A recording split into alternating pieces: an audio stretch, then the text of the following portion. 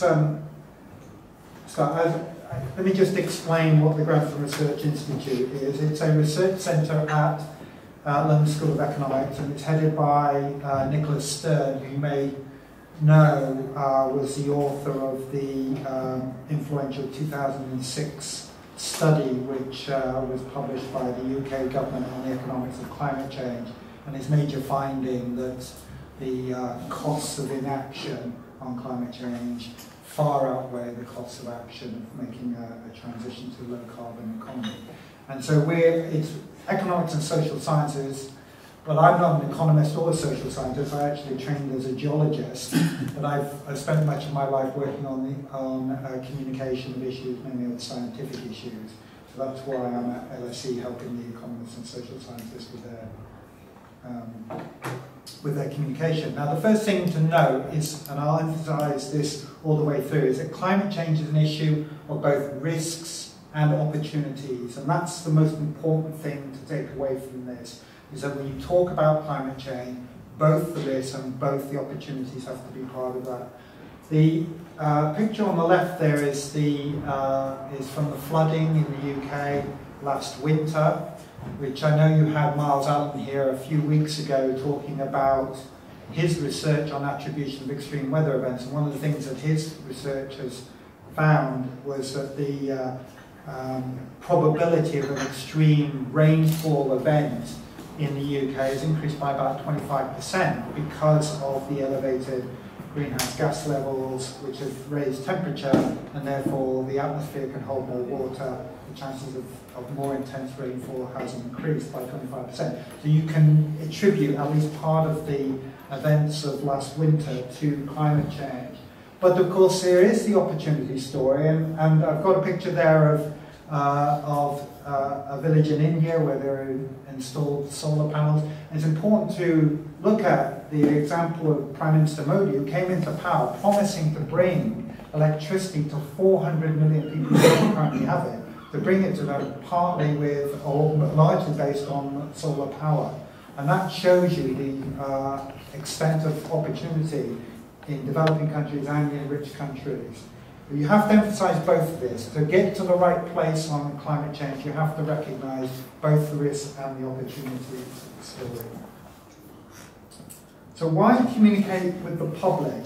Well, I'm hoping this is kind of obvious, but I mean, what we need to do in order to um, manage the risks of climate change successfully and to seize those opportunities that are, uh, that are available is to uh, achieve a reduction in the rich countries, reduction in greenhouse gas emissions of between 60 and 90% compared to current levels over the next 35 years. Now that's going to be a huge challenge and it can't be done just by appealing to voluntary action by the public.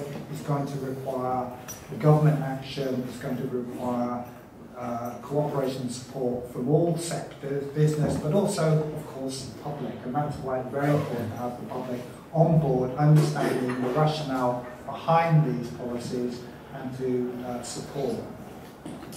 However, and certainly in the UK, what we've suffered, although there is relatively high levels of support for uh, dealing with climate change, it can be um, varying levels of support for individual measures, partly because of the confusion around the way in which they are communicated, misunderstanding and confusion about the scale and urgency of the problem.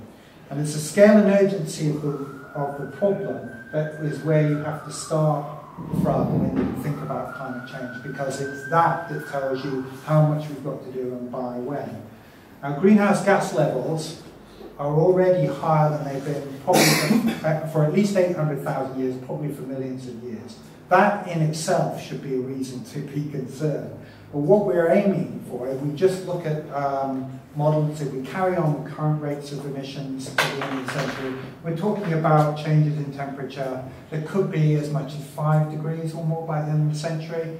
Now that doesn't sound very much compared to average daily changes in temperature, but five degrees is the difference between today's average temperature on Earth and the average temperature during the last ice age. We haven't seen five degrees warmer than today for tens of millions of years.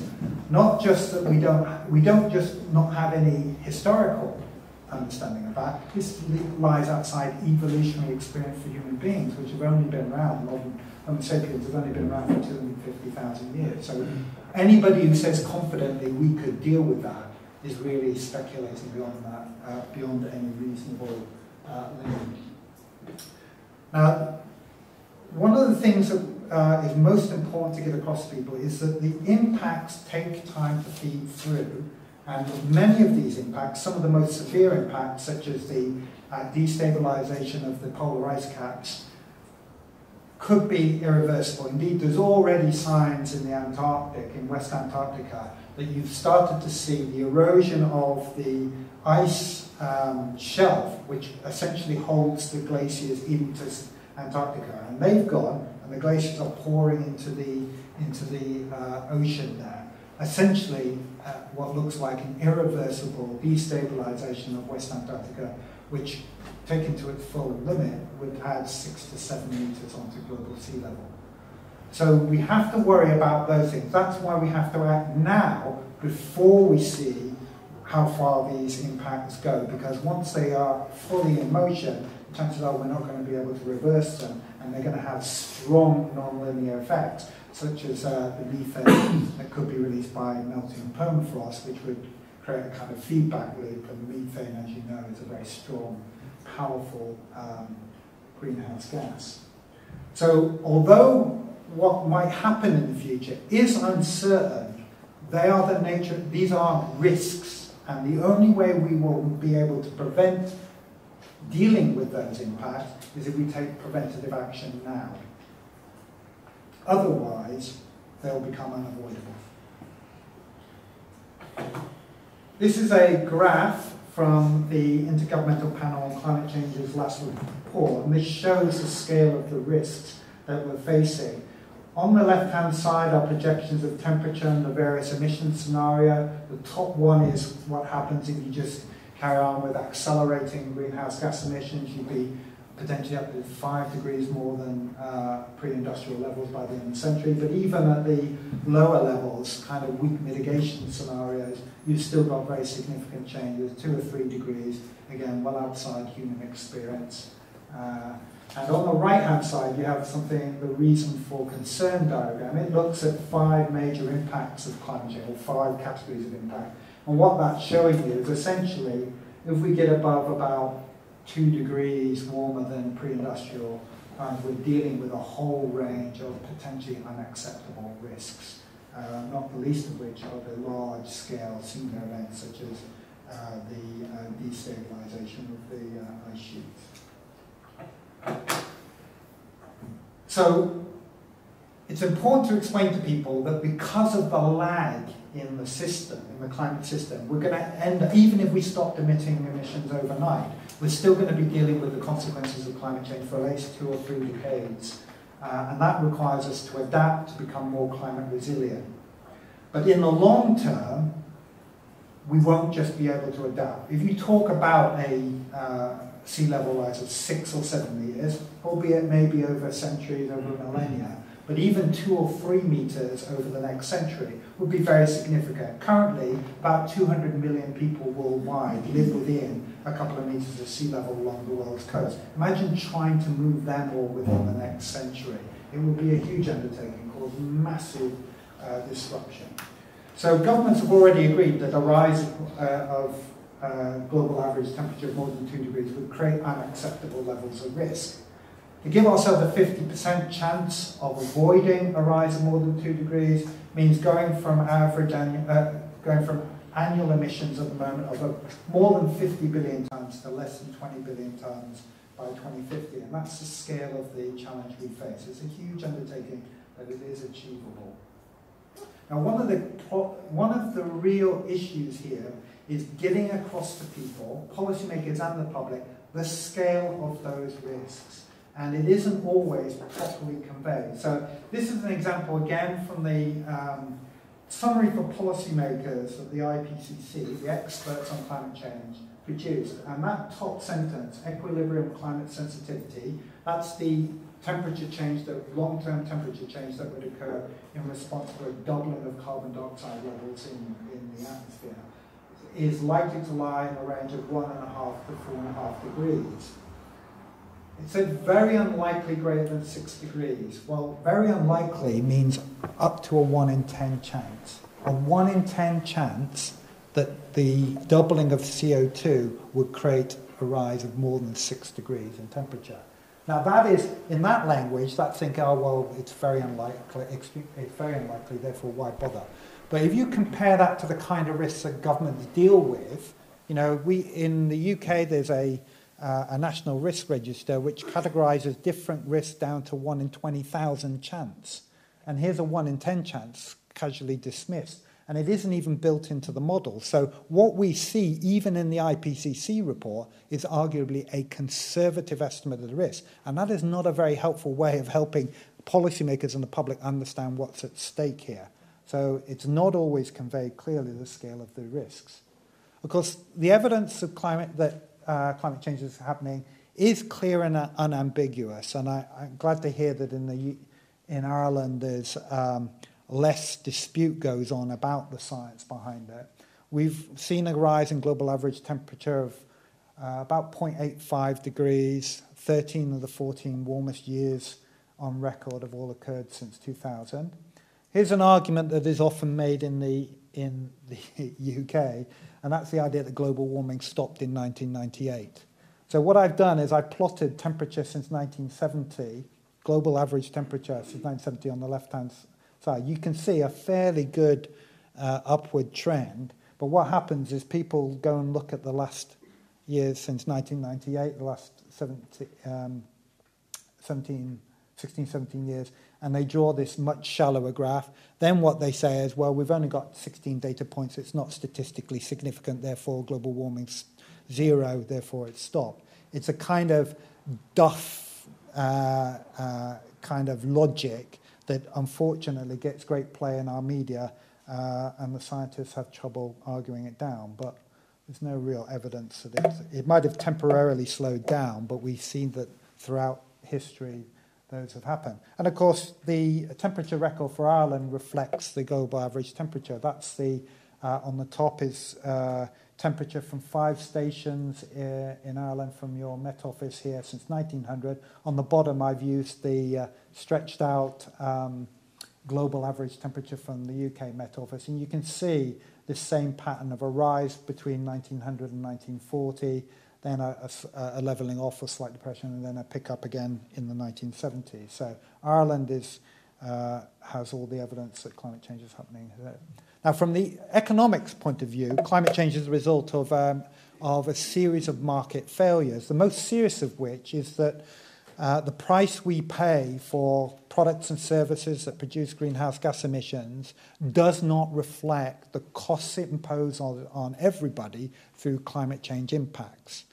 And that's a market failure that is, uh, Nick Stern's described as the largest market failure the world has ever seen. But it's not the only one. There are several other market failures that hold back alternative fossil fuels.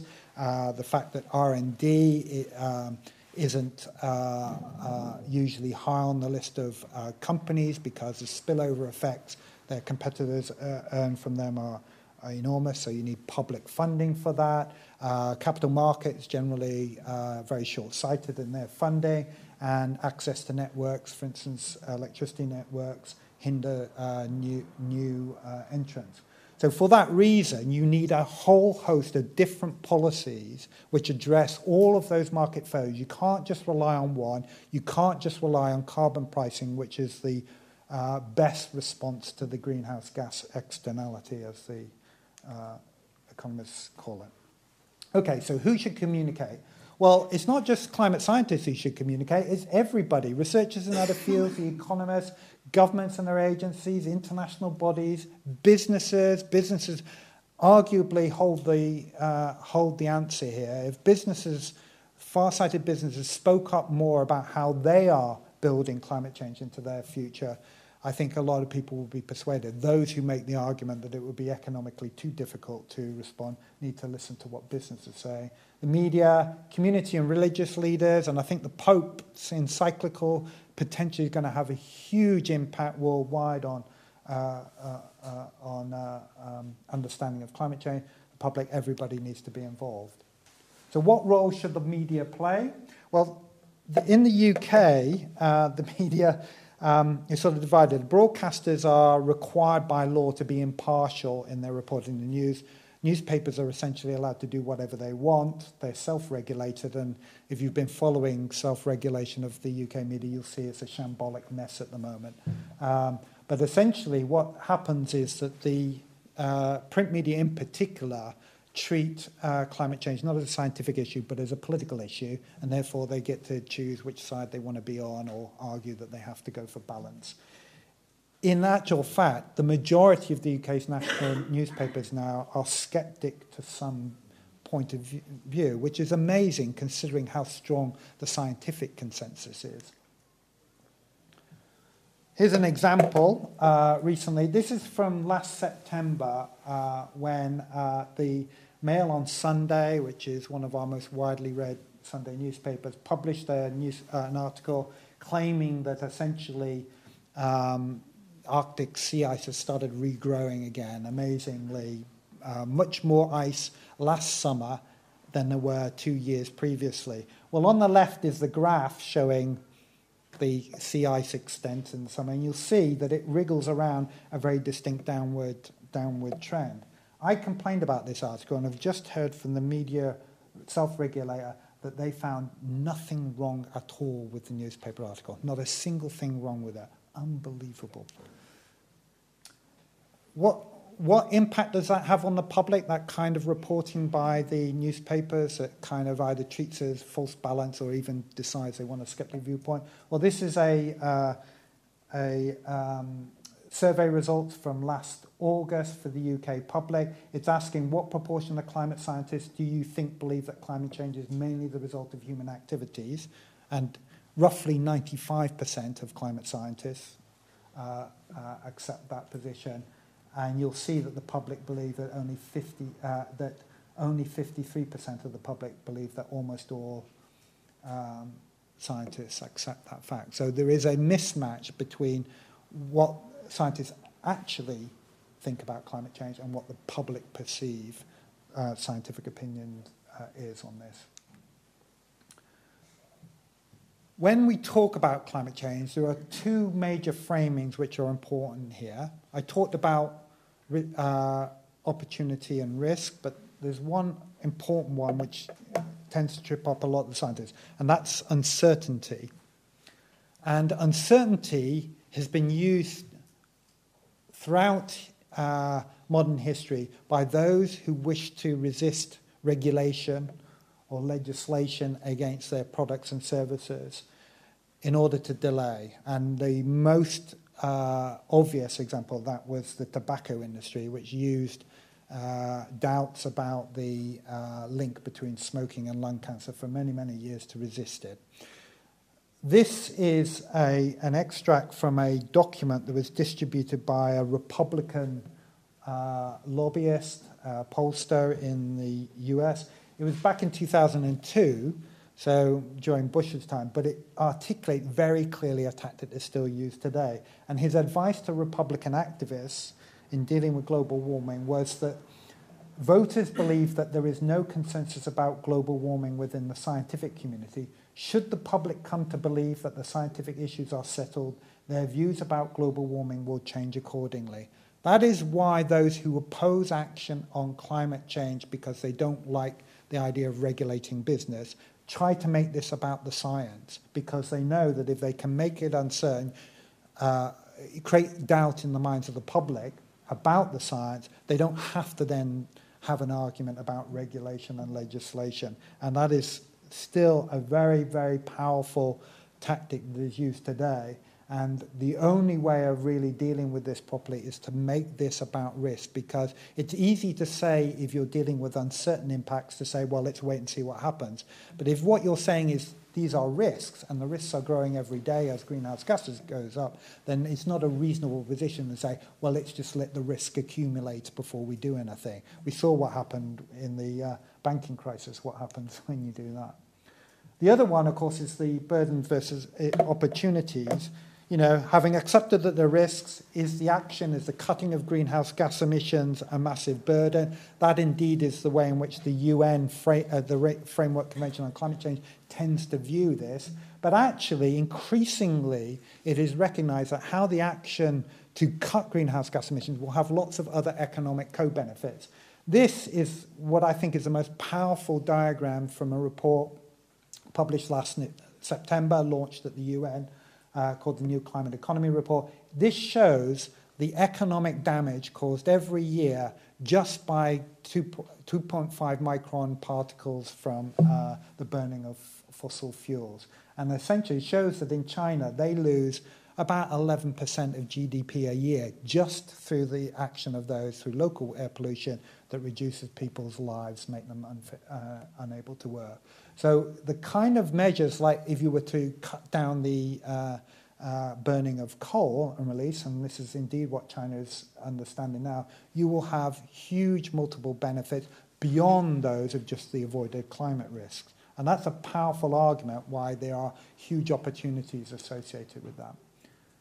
This is my last slide. So this is bringing together those elements I've rattled through very quickly about uh, successful communication. So communication has to be everybody involved in that. And that means asking questions as well as giving answers.